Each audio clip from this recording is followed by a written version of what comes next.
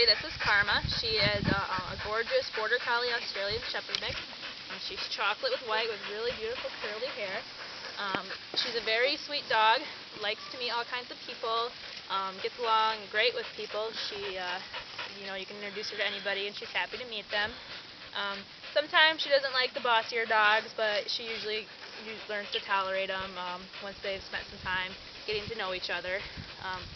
We would like it if you were interested in adopting Karma to research the breed just a little bit. You know, go online and look up Border Collies and Australian Shepherds. Um, they're really special dogs. One of the most intelligent dogs you'll ever find. Um, Karma's very smart. She knows all kinds of tricks. She's house trained. Um, you know, really a very nice dog. And she calms down once she's had her exercise and stuff.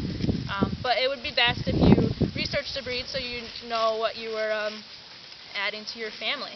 Uh, you know, Karma has a little bit higher energy level, even though she's five. Um, she also has those breeding or herding instincts, um, so she does want to move things with her nose. Um, and because of that, we are recommending no small children because she likes to move things with her nose and sometimes her teeth. Um, she's never hurt anybody, and she never intentionally hurts anybody, but that's just her instinct. That's her breed. Um, but as you can see, she's a really well-behaved dog. Um, she calms down. She would probably do really well, um, you know, as an exercise partner. And then if you know you just laying at your feet at the end of the day, kind of just relaxing. Um, she's a good girl. She, like I said, if you know anything about the breed, has a little bit of a higher anxiety level.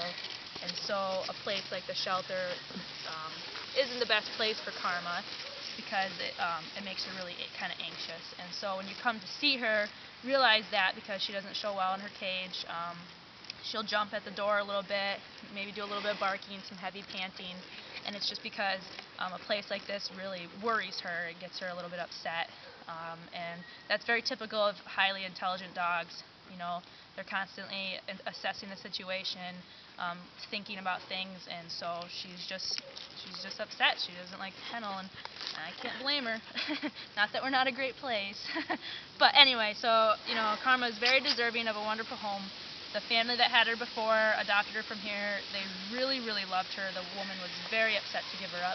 Um, she recently had a baby, and Karma, like I said, just um, those instincts are there. She's she's a good border collie and she's good at her yeah. job and so she wants yeah. to herd things and she was herding the baby and it just wasn't um, a good match and so now we need to find a better match and um, you know she walks great on a leash you know if you just want to go for leisurely walks she would do fine with that um, and so I don't know uh, she's already spayed up to date on her shots and a really pretty dog so if you're interested in this dog, why don't you come out and meet Karma? The staff will be happy to answer any questions about the breed or about Karma specifically.